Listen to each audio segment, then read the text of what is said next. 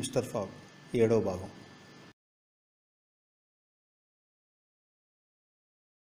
సరిగ్గా ఉదయం ఎనిమిది గంటల ప్రాంతంలో రోతలు మరో పది పదిహేను మైళ్ళ దూరంలో ఉందనగా రైలు ఆగిపోతుంది ఒక్కసారిగా. అక్కడికి దగ్గరలో అనేక బంగళాలు గుడిసెలు కనిపిస్తుంటాయి.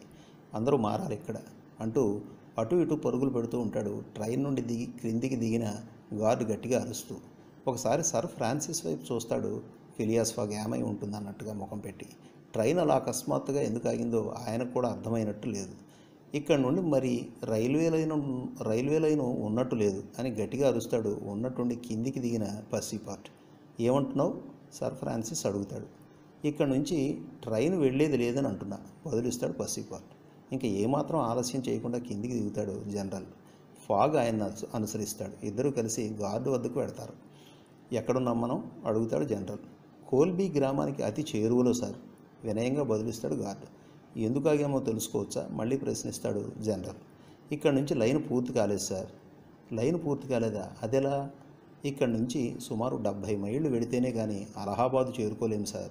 అక్కడి నుంచి మళ్ళీ ట్రైను ప్రయాణం తిరిగి మొదలవుతుంది. వివరిస్తాడు ఆ గార్డు మరి పత్రికల్లో అలా వేశారేమిటి? కలకత్తా వరకు లైన్ పూర్తయిందని నేనేం చేయగలను సార్? ఆ పత్రికలు బహుశా పొరపాటు పడి ఉండొచ్చు లేక అత్యుత్సాహం ప్రదర్శించి ఉండొచ్చు సార్. అంటాడు అతను. అలా అంటే ఎలా కుదురుతుంది? మీరే కదా బొంబాయి నుండి కలకత్తా వరకు టికెట్ ఇచ్చింది. కొంచెం గట్టిగా అడుగుతాడు జనరల్. మీరనేది ముమ్మాటికి వాస్తవమే సార్. కానీ విషయం ఏమిటంటే ఈ ట్రైన్లో ప్రయాణం చేసే వారందరికీ కోల్బీ నుండి అలహాబాద్ వరకు ఎవరి ప్రయాణ ఏర్పాట్లు వారే చేసుకోవాలని బాగా తెలుసు అంటాడు అతను. అది విన్న జనరల్ కోపంతో ఊగిపోతాడు. పసిపాటుకైతే ఆ గార్డును నరికి పోగులు పెట్టాలన్నంత కోపం వస్తుంది. తన యజమాని ముఖంలోకి కూడా చూడలేకపోతున్నాడు పసిపాటు. సరే ఫ్రాన్సిస్ మనం ఎలాగోలాగా అలహాబాద్ వెళ్ళే ప్రయత్నం చేద్దాం. ఆ దిశగా ఆలోచిస్తే మంచిది. అంటాడు. ఆ హఠాత్ పరిణామాలకు కూడా చెల్లించని ఫాగ్. అరే దీనివల్ల మీ ప్రణాళిక ఏమీ దెబ్బతినదు కదా మిస్టర్ ఫాగ్? అడుగుతాడు ఫ్రాన్సిస్. ఓ అలా ఏమీ లేదు. ఇవన్నీ ఊహించినవే.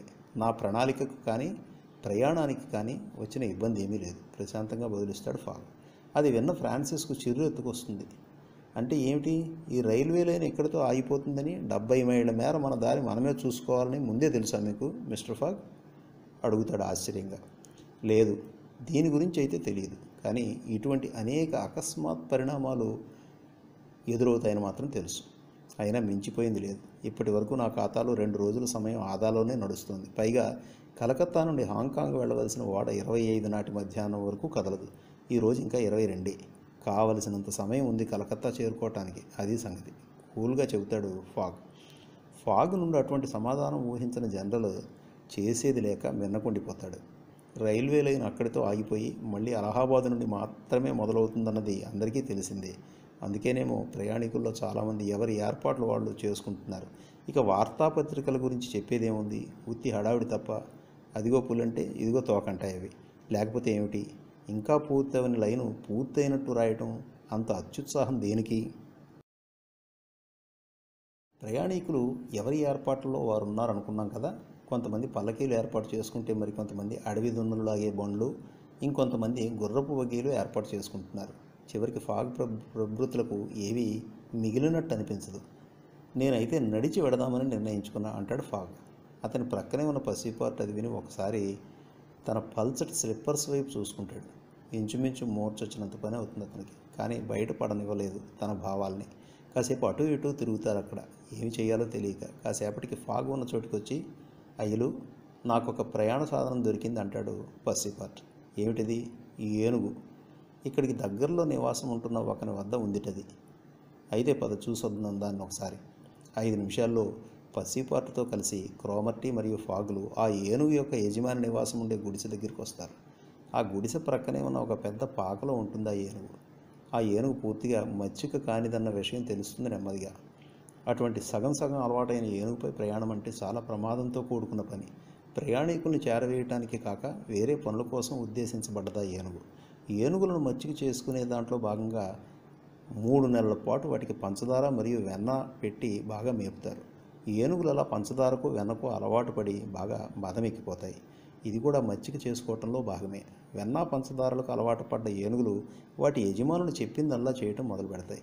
మొదట్లో అవి లొంగినట్లు అనిపించవు కానీ రాను రాను లొంగిపోతాయి. అయితే మన ప్రస్తుత ఏనుగు మాత్రం పూర్తి స్థాయిలో మదం ఎక్కినట్టు అనిపించదు. అదొక విధంగా ఫాగ్కు కలిసి వచ్చే అంశమే. ఆ ఏనుగు పేర పేరు కియోని. బలిష్టంగానే కనిపిస్తోంది. కాబట్టి అలహాబాద్ వరకు ఆ ముగ్గురిని తీసుకువెళ్ళగలిగేలానే అనిపిస్తోంది. అలహాబాద్ చేరుకోవటానికి అది తప్ప గత్యంతరం లేదు. అందుకే దాన్ని కిరాయికి తీసుకోవడానికే నిర్ణయించుకుంటాడు ఫాగ్. క్రమంగా ఏనుగుల జాతి క్షీణిస్తోంది ఇండియాలో. అందుకేనేమో వాటిని సొంతం చేసుకోవటం ఖర్చుతో కూడుకున్న వ్యవహారం అంటారంతా. మగ ఏనుగులు అయితే అసలే దొరికే పరిస్థితి లేదు. అలా దొరికే కొన్ని కూడా సర్కస్ కంపెనీ వాళ్ళకే చాలట్లేదు అంతేకాకుండా మగ ఏనుగులను మచ్చిక చేసుకోవడం చాలా కష్టంతో కూడుకున్న వ్యవహారం. ఆ కారణంగానే ఫాగ్ అడిగిన వెంటనే కిరాయికి ఇవ్వడానికి ససేమిరా అంటాడు కేయోని యజమాని. ఫాగ్ ఊరుకుంటాడా? గంటకు పది పౌండ్ల చొప్పున ఆఫర్ చేస్తాడు. దాని యజమాని ఒప్పుకోడు. కిరాయి గంటకు పది నుండి ఇరవైకి నలభైకి అలా పెరుగుతూ పోతుంది. కానీ దాని యజమాని లొంగేలో మాత్రం కనిపించట్లేదు. ఫాగ్ చూపిన కిరాయి చాలా ఎక్కువ. అలహాబాద్ చేరుకోవడానికి పదిహేను గంటలు పడుతుందనుకుంటే అతనికి లభించే మొత్తం ఆరు వందల పౌండ్లు అవుతుంది. కానీ ఆ ఏనుగు యజమాని దేనికి చెల్లించే రకంగా అనిపించటం లేదు. గొప్ప మూర్ఖుళ్ళ ఉన్నాడు. ఇక లాభం లేదనుకున్న ఫాగ్ ఆ ఏనుగుని కొనేద్దామని నిర్ణయించుకుని వెయ్యి పౌండ్లు ఆశ చూపుతాడు. ఒప్పుకునేలా అనిపించట్లేదు వాడి వాలకం చూస్తుంటే. పసిపాటు గోళ్ళు మండిపోతుంది వాడి పద్ధతి చూస్తుంటే. కావలసినంత డబ్బు దండుకోవడానికి అంతకంటే మంచి అవకాశం రాదని వాడికి అర్థమైపోయినట్టుగా కనిపిస్తోంది. ఫాగును అతని చేయి పట్టుకుని పక్కకు తీసుకువెళ్ళి ఏదో చెప్పబోయాడు జనరల్. చూడండి సార్ ఫ్రాన్సిస్ నాకు నటించడం కానీ నాన్చడం కానీ ఇష్టం ఉండదు. పైగా ఆ ఏనుగు ఇప్పుడు చాలా అవసరం మనకి. ఇరవై వేల పౌండ్ల పందెం గెలవాలంటే తప్పదు మరి. ఏనుగు అసలు రేటుకి ఇరవై రెట్లు ఎక్కువైనా పర్వాలేదు అని కరాఖండిగా చెబుతాడు ఫాగ్. మళ్ళీ ఆ ఏనుగువాడి వద్దకు వెళ్ళిన ఫాగ్ వెంటనే వేగంగా పన్నెండు వందలు పద్నాలుగు వందలు చివరికి రెండు వేల పౌండ్ల వరకు పెంచేస్తాడు దాని రేట్ని. పసిపాటు ముఖం పాలిపో పాలిపోతుంది. ఎలా అయితే చివరికి వాడు లొంగుతాడు ఆ రేటుకి. ఓరి నాయనో ఆ ఏనుగుకు రెండు వేల పౌండ్ల అనుకుంటూ గుడ్లు తేలేశాడు పసిపాలు ఆ విధంగా ఏనుగును కొనేస్తాడు ఫాగ్. ఇప్పుడు కావలసిందల్లా దాన్ని నడపగల ఒక మావటిని వెతుక్కోవటమే. అదేమంత కష్టమైన పనిలా అనిపించలేదు. ఒక యువ పారసీ కుర్రాడు ముందుకు వస్తాడు చూడు నీ పేరేమిటో? నీకు అప్పచెప్పిన పని సక్రమంగానూ సకాలంలోనూ పూర్తి చేసేవనుకో భారీ మొత్తం నీ సొంతం అవుతుంది ఆశ చూపుతూ అన్నాడు ఆ పారసీ యువకునితో ఫాగ్. దాంతో ఆ మావటివాడు మరింత చురుకుగా పనిచేస్తాడని బా ఫాగు ఉద్దేశం. మరుక్షణంలోనే సిద్ధం చేయబడదా ఏనుగు ఏనుగు. మంచి నిపుణుడైన మావటిగా ఆ పారసీ యువకునికి గొప్ప పేరే ఉంది. ఆ ఏనుగు వీపుపై ముందుగా ఓ నిచ్చెన వేసి దాని కొనలను బలమైన తాటితో ఏనుగు వీపు కట్టి అది గట్టిగాను బిగుతుగాను ఉందో లేదో పరీక్షించాడు ఆ మావటి. తరువాత ఆ ముగ్గురు ప్రయాణికులు కూర్చోవటానికి వీలుగా అంబారీ ఒకటి ఏర్పాటు చేయబడుతుంది. ఒకసారి అటు ఇటు చూసి బాధతో మెలికలు తిరిగిపోతూ తన వద్దన్న కార్పెట్ బ్యాగులోంచి తలతళలాడుతున్న రెండు వేల పౌండ్ల బ్యాంకు నోట్లు తీసి అతనికి ఇస్తాడు పసిపాల్ తన మిత్రుడైన సర్ ఫ్రాన్సిస్ క్రోమర్టీకి ఆ అంబారీలో ఒక ప్రక్క సీటు ఆఫర్ చేశాడు ఫాగ్. చాలా ధన్యవాద ధన్యవాదాలు మిస్టర్ ఫాగ్ అంటూ కృతజ్ఞతాపూర్వకంగా ఫాగ్ చేతిలో తన చేయి వేస్తూ అంబారీపై తనకు ఉద్దేశించబడ్డ సీట్లో కూర్చున్నాడు ఆయన. ఏనుగు లాంటి అతి పెద్ద జంతువుకు ఒకరిద్దరు ప్రయాణికులు ఎక్కువైనా నష్టమేమీ లేదు. అలా జనరల్ మరియు ఫాగులు ఇరువురు అంబారీపై ఉన్న సీట్లో చెరుకు ప్రక్కన కూర్చుని ఉండగా పసిపార్ట్ ఏమో ఇద్దరికీ మధ్యాహ్నం చోట్లో సరిగ్గా ఇమిడిపోయి కూర్చుంటాడు. దారిలో అవసరమయ్యే వస్తువులను కొనడం జరుగుతుంది.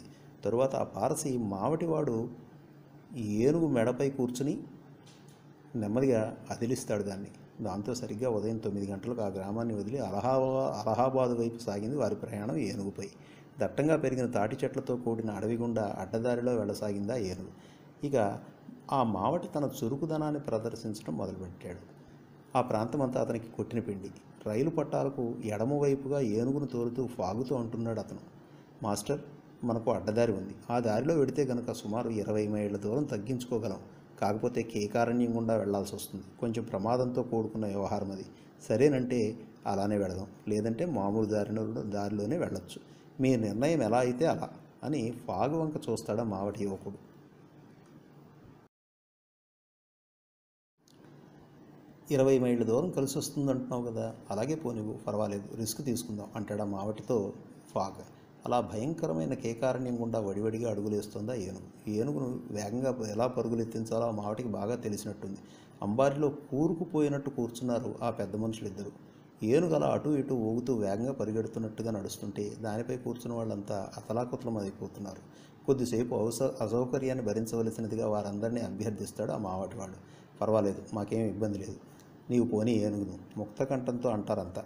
సగటు ఇంగ్లీష్ వాడిలో ఉండే స్ఫూర్తితో అంటారు అలా వారిలో ఒకరితో ఒకరు మాట్లాడుకుంటూనే ఉన్నారు. కానీ ఒకరి ముఖం మరొకరు చూసుకోకుండానే జరిగిపోతుంది అది పసిపాటి పరిస్థితి మరీ దారుణంగా ఉంది. తన పళ్ళ మధ్య నాలుగ ఎక్కడ తెగి పడుతుందో అని నోటి లోపల లోపలే దాచుకున్నాడు అతను దాన్ని. తనకంటూ ఒక ప్రత్యేక సీటు లేకపోవడంతో తన యజమాని మరియు ఫ్రాన్సిస్ల మధ్య ఇరుక్కుని కూర్చున్న అతను ఆ ఏనుగు ఊపులకు దాని మెడవైపు ఒకసారి దాని తోక వైపుకు మరోసారి విసిరివేయబడుతున్నాడు. అతడి పరిస్థితికి జాలి వేస్తోంది. అవి ఏమీ పట్టించుకొని అతను ఒక సర్కస్ బఫూన్లా అందరికీ వినోదం అందిస్తున్నాడు. అప్పుడప్పుడు తన జేబులోంచి కొంచెం పంచదార తీసి ఆ ఏనుగును తొండానికి అందిస్తున్నాడు. తన వేగాన్ని ఏమాత్రం తగ్గించకుండా నడుస్తూనే పంచదార లాగించేస్తోంది ఆ ఏనుగు. అలా కాసేపు అంటే సుమారు రెండు గంటల పైగా ప్రయాణించిన తర్వాత ఏనుగును ఆపిన మావటి కాసేపు ఏనుగుకు విశ్రాంతి ఇద్దాం మీరు కూడా విశ్రాంతి తీసుకోండి అంటాడు ఫాగ్ ప్రభృతులతో. చుట్టుపక్కల ఉన్న ఆకులు అలములు తింటూ తన ఆకలిని అలసటను తీర్చుకుంటోంది ఆ ఏనుగు. తరువాత సమీపంలో ఉన్న ఒక నీటి వాగు వద్దకు వెళ్ళి నీళ్ళు తాగింది అది. క్రోమర్టీ పరిస్థితి దారుణాతి దారుణంగా ఉంది. ఏనుగు కుదుపులకు భయంకరంగా అలసిపోయాడు ఆయన. గాయాల బారిన పడ్డట్టుగా ఉంది ఆయన పరిస్థితి. ఫాగ్లో మాత్రం ఏ మార్పు అని తెలియదు ఫాగ్లో మాత్రం ఏ మార్పు లేదు. ప్రతిరోజు ఉదయం నిద్ర లేవగానే ఎలా ఉంటాడో అలానే ఉన్నాడు. ఓరి నాయనో చూడబోతే ఇతను ఉక్కు మనిషిలా ఉన్నాడే అనుకుంటూ ఫాగ్ వైపు ఆరాధనగా చూస్తాడు జనరల్. మామూలు ఉక్కు మనిషి కాదు. శుద్ధితో బాగా అణగొట్టిన ఉక్కుతో తయారైన మనిషి అనుకుంటూ హడావిడిగా అటు ఇటు తిరుగుతూ ఆపసోపాలు పడుతూ బ్రేక్ఫాస్ట్ ఏర్పాటు చేయడంలో తలమునకలై ఉంటాడు పసిపాటు మధ్యాహ్నం అవుతుందనగా మళ్ళీ ప్రయాణానికి ఏనుగును సన్నద్ధ సన్నద్ధం చేస్తాడా మావటి. దట్టమైన కేకారణ్యం అంతమై క్రమంగా అక్కడక్కడ విసిరి వేసినట్లున్న తాటి చెట్లు ఖర్జూరపు చెట్లతో కూడిన విశాలమైన మైదాన ప్రాంతం కనిపిస్తోంది. చుట్టూ నల్లరాతి కొండలు దర్శనమిస్తున్నాయి. ఆ ప్రాంతం రాజాలు మహారాజాల చేతుల్లోనే ఉన్నట్టుంది ఇంకా. బ్రిటిష్ వారికి అంత పట్టు రాలేదు ఈ ప్రాంతంపై ఇప్పటికీ. చుట్టూ అలుముకున్న దుర్భేద్యమైన రాతికొండలు ఆ ప్రాంతానికి ఒక రక్షణ కవచంలా ఉండటంతో బయట వారు ఎవరికి దాన్ని వశపరుచుకోవడం సాధ్యపడి ఉండకపోవచ్చు. ఆ పర్వ ఆ ప్రాంతాలలో నివసించే వాళ్ళు కూడా కొంచెం విలక్షణమైన వాళ్ళే అని చెప్పాలి. వాళ్ళ ఆచార వ్యవహారాలు పురాతనంగానే కాక కొంచెం కిరాతకంగా కూడా అనిపిస్తాయి. మరింతగా చెప్పాలంటే వాళ్ళు ఇంకా మూఢనమ్మకాలు ఆటవిక సాంప్రదాయాలు వదిలినట్టుగా అనిపించదు. బ్రిటిష్ వాళ్ళకే కనుక పూర్తి పట్టు వచ్చినట్టుంటే వచ్చి ఉండుంటే పరిస్థితుల్లో కొంత కాకపోతే కొంతైనా మార్పు వచ్చి ఉండేది. కానీ అలా జరగలేదు. ఆ ప్రాంతం కూడా ప్రయాణించేవారు క్రూర జంతువుల కంటే అక్కడి స్థానికులకే భయపడవలసి వస్తుంది అప్పుడప్పుడు. వాళ్ళు మాటలతో కాక కేవలం సంజ్ఞలతోనే బయటి వారిని అదుపు చేయటం భయపెట్టడం లాంటివి చేస్తున్నారు. వారి గురించి వారి ప్రవర్తన గురించి చేష్టల గురించి బాగా ఎరిగి ఉన్న ఆ యువపారసి వారితో ఎటువంటి తగువు పెట్టుకోకుండా తగిన రీతిలో అదే సంజ్ఞల ద్వారా వారిని గౌరవిస్తున్నట్టుగా నమ్మిస్తూ ముందుకు సాగిపోతున్నాడు. గడుసుతనం ఎక్కువే అతనికి. క్రూర జంతువులు ఏవి మార్గమధ్యంలో వారికి తగలలేదనే చెప్పాలి. ఆఖరికి కోతులు కూడా తక్కువగానే కనిపిస్తున్నాయి. పసిపాటు మాత్రం కోతులను బాగా ఆట పట్టిస్తున్నాడు. అలహాబాద్ చేరిన తర్వాత తన యజమాని ఆ ఏనుగును ఏం చేయబోతున్నాడన్న ప్రశ్న పసిపాటు మెదడును తొలిచివేస్తోంది అదో వేతాళ ప్రశ్నగా అనిపిస్తుంది అతనికి. తన తనతో పాటు ఇంగ్లండ్కు తీసుకుపోవడం సాధ్యపడే విషయమేనా అంటే ఎంత మాత్రమో కాదని మాత్రం అతనికి తెలుసు. ఏనుగును కొనటానికి అయినది దాన్ని మేపడానికి అయినది అంతా బూడిదలో పోసినట్టేలా ఉంది చూస్తుంటే. దాన్ని ఎవరికైనా అమ్మేస్తాడా? లేక సర్వస్వతంత్రురాలని చేస్తాడా? ఏమో ఏమీ అర్థం కావట్లేదు అతనికి. ఏదేమైనప్పటికీ దాన్ని ఏదో ఒకటి చేయాల్సిన అవసరం అయితే ఉంది. ఒకవేళ ఆ ఏనుగును తనకు కానుకగా ఇచ్చాడంటే తను ఏం చేసుకుంటాడు దాన్ని? ఏమో అంత గందరగోళంగా ఉంది అతనికి. రాత్రి ఎనిమిది అవుతుందనగా వింధ్య పర్వత పం- పంక్తుల్ని దాటేశారు వాళ్ళు. సమీపంలో ఉన్న ఒక పాడుపడ్డ భవంతి వద్ద మళ్ళీ ఆపాడు ఆ ఏనుగును మాహటి. సుమారు ఇరవై ఐదు మైళ్ళ దూరం ప్రయాణించినట్టుగా ప్రకటించాడు అతను. ఇంకా అంత దూరం ప్రయాణిస్తేనే కానీ అలహాబాద్ చేరుకోలేమని కూడా అంటాడు అతను. రాత్రి సమయమే కాక అది అడవి ప్రాంతం కూడా కావడంతో బాగా చలిగా ఉంది వాతావరణం. మావటివాడు చుట్టుప్రక్కల దొరికిన పుల్లలతో ఒక మంట రాజేశాడు. ఆ అంతా ఆ మంట చుట్టూ చేరి చక్కటి సప్పర్ను ఆరగిస్తారు. కోల్బీలో కొనుక్కున్న ఆహార పదార్థాలు అలా ఉపయోగపడ్డాయి వారికి. భోజనాలు అయిపోయిన తర్వాత ఏనుగు అక్కడలో అక్కడ అక్కడికి దగ్గరలో ఉన్న ఒక పెద్ద వృక్షాన్ని ఆసరా చేసుకుని నిద్రపోసాగింది. దానిపై ఒక కన్నేసి ఆ ప్రక్కనే నిద్రకు ఉపక్రమించాడు ఆ పారసీ కూడా. ఫాగ్ మరియు సర్ ఫ్రాన్సిస్లు అలా మాట్లాడుకుంటూనే గురకపెట్టసాగారు అలా ఆ బంగళాకు చేరువుగా నిద్రిస్తున్న వారి నిద్రకు భంగం కలిగి కలిగేలా ఏదీ జరగలేదు. అప్పుడప్పుడు దూరం నుంచి వినిపిస్తున్న క్రూర జంతువుల అరుపులు కోతుల కిచకిచలు తప్ప మరే ఉపద్రవం ముంచుకొచ్చిన దాఖలాలు లేవని అనాలి. ఒక యుద్ధవీరుడు ఎలా అయితే విశ్రాంతి తీసుకుంటాడో అలా సర్ క్రోమర్టీ దర్జాగాను టీవీగాను నిద్రిస్తుంటే పసిపాటు మాత్రం అటు ఇటు కదులుతూ కలత కలత నిద్రతో నానావస్థలు పడుతున్నాడు. అతను ఇంకా ఏనుగు మీద ఉన్నట్టే ఉంది. ఇక ఫాగ్ విషయానికి వస్తే సావిలే వీధిలోని తన నివాస గృహంలో ఎంత సుఖంగా అయితే నిద్రిస్తాడో ఆ పాడుపడ్డ బంగళా వద్ద కూడా అంతే సుఖంగా నిద్రిస్తున్నారు నిద్రిస్తున్నాడు. ఇసుమంత తేడా కూడా కనిపించదు. అతను నిద్రిస్తున్న విధానంలో మరుసటి నాడు ఆరు గంటలకే ప్రయాణం మొదలవుతుంది తిరిగి. ఆ సాయంత్రానికల్లా అలహాబాద్ చేరుకోవచ్చని భావిస్తున్నట్టు తెలియజేశాడు మావటి. అలా అయ్యేట్టయితే ప్రయాణం మొదలైన నాటి నుండి అప్పటి వరకు ఆదాయన సమయంలో కొంత ఖర్చు అయిపోతుందని నిర్ణయించుకుంటాడు ఫాగ్. అలా ప్రయాణిస్తూ వింధ్య పర్వత శ్రేణుల చివరి భాగానికి చేరుకుంటారు వాళ్ళు. చాలా వేగంగా నడుస్తుందా ఏను. ఆ మధ్యాహ్నానికల్లా ఖని అనబడే గంగా నది యొక్క ఉపనది ఒడ్డున ఉన్న కల్లెంజర్ అనే అనబడే గ్రామం చేరుకుంటారు వాళ్ళు. ప్రయాణం సాఫీగా సాగటం కోసమే జనజీవనానికి దూరంగా పొలాలు అడవుల మీదుగా వెళ్ళటానికే మొగ్గు చూపుతున్నాడు ఆ మావటి. ఈశాన్యముఖంగా మరికొన్ని మైళ్ళు కనుక ప్రయాణిస్తే అలహాబాద్ చేరుకోవచ్చు. అరటి చెట్లు దట్టంగా ఉన్న చోట మరోసారి ఆపాడా మావటి. ఏనుగుతో పాటు అందరూ ఆ అరటి చెట్లకున్న పండ్లను తిని ఆనందించారు. బ్రెడ్ లాగానే అరటి పండు కూడా సంపూర్ణ ఆహారమే ఆ పండులో ఉండే మరో గొప్ప గుణం ఏమిటంటే అదో చిక్కటి క్రీమును కూడా తలపిస్తుంది. మధ్యాహ్నం రెండు గంటల ప్రాంతానికి వాళ్ళు ఒక దట్టమైన అడవిలోకి ప్రవేశించారు. అదే అడవి గుండా మరికొన్ని మైళ్ళు ప్రయాణించవలసి ఉంది వాళ్ళు.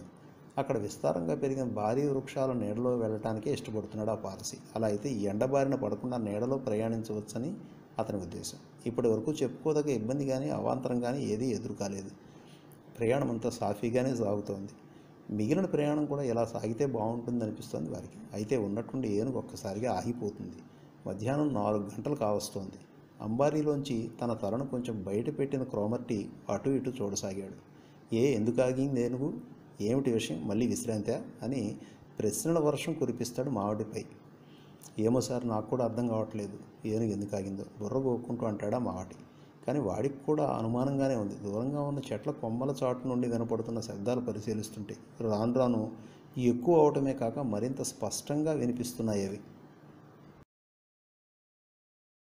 దూరంగా ఏదో మతపరమైన వేడుక తాలూకు డప్పుల మూతలు గజ్జల సవ్వడులు వినిపిస్తున్నాయి. మనుషులు కూడా ఏదో ఉచ్చరిస్తున్నట్టుగా కూడా అనిపిస్తుంది. పసిపాటుగా అయితే అదంతా ఏదో వింతగా అనిపిస్తుంది. అదేమిటో తెలుసుకు తీరాలన్న ఉత్సుకత పెరిగిపోసాగింది అతనిలో. ఫాగ్ మాత్రం మౌనంగానే ఎదురు చూడసాగాడు జరగబోయే దానికోసం. వెంటనే క్రిందికి దిగిన పారసీ యువకుడు ఏనుగును దగ్గరలో ఉన్న చెట్టుకు కట్టేసి ఆ చెట్టు కొమ్మల్లోంచి కనిపించినంత మేర చూడసాగాడు ఏం జరుగుతుందో తెలుసుకునే ఉద్దేశంతో. ఆ శబ్దాలు ఏమిటో ఆ వేడుక దేని గురించో తెలిసిపోయినట్టుంది అతనికి. మరుక్షణమే ఏనుగును కట్టిన ప్రాంతానికి తిరిగి వచ్చిన అతను కొంచెం ఆందోళనగా కనిపిస్తాడు. ఎవరికీ కనిపించకుండా దాక్కోవాలి మనమంతా. బ్రాహ్మణ ఊరేగింపు ఒకటి ఇటువైపుగా వస్తుంది. వాళ్ళు ఎవరికీ మనం కనిపించకుండా ఉండగలిగితే మనకే మంచిది అంటాడు. అలా అంటూనే చెట్టుకు కట్టేసిన ఏనుగును విప్పే ప్రయత్నం చేస్తూ మళ్ళీ ఎప్పుడు అవసరం వస్తే అప్పుడు ఏనుగు ఎక్కడానికి వీలుగా తనను తాను సిద్ధం చేసుకుని ఎంతో అప్రమత్తంగా ఉంటాడా మావటి. తమంతా తాము కనిపించాలని ప్రయత్నిస్తే ప్రయత్నిస్తే తప్ప ఆ గుగురు కొమ్మల చాటునున్న తమను ఎవరు పసికట్టలే పసికట్టలేరని అతని నమ్మకంలా అనిపిస్తుంది. ఊరేగింపు చేరువ అవుతున్న కొద్దీ ఆ శబ్దాలు మరింత భయంకరంగా వినిపిస్తున్నాయి. అక్కడున్న సమూహం అంతా కలిసికట్టుగా ఉచ్చరిస్తున్న ఏకవాక్య మంత్రోచ్చారణలో కలిసిపోయి చాలా శక్తివంతంగా అనిపిస్తున్నాయి. గజ్జెలు డప్పులు బోరలు మరియు తాళాల శబ్దాలు. ఆ ఊరేగింపు మరింత చేరువయ్యే కొద్దీ అందులోని జనం స్పష్టంగా కనపడసాగారు. ఆ ఊరేగింపుకు సారథ్యం వహిస్తున్న నాయకుడు కూడా స్పష్టంగా కనిపిస్తున్నాడు ఇప్పుడు. మతపరమైన వస్త్రాలలో మెరిసిపోతున్న పూజారులు ఆ ఊరేగింపును ముందుండి నడిపిస్తున్నారు. వాళ్ళను చుట్టుముట్టినట్లుగా అనేక మంది స్త్రీలు పురుషులు మరియు పిల్లలు అంతా కలిసి దహన సంస్కారాల్లో వెల్లించే మంత్రాలను ఉచ్చరిస్తున్నారు. అనేక వాయిద్యాల ఘోషలో వారు ఉచ్చరిస్తున్న మంత్రాలు మధ్యలో బ్రేక్ అవుతున్నట్టుగా కూడా అనిపిస్తున్నాయి. అందంగా అలంకరించబడ్డ వాహనం ఒకటి అనుసరిస్తోంది ఆ ఊరేగింపును. బలిష్టమైన నాలుగు అడవి దున్నలు లాగుతున్నాయి ఆ వాహనాన్ని.